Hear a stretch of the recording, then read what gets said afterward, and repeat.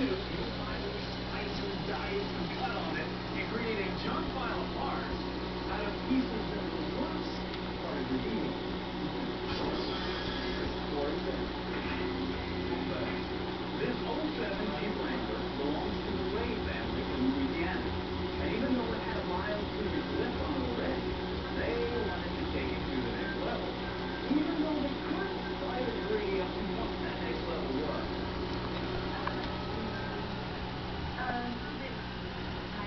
Mm-hmm.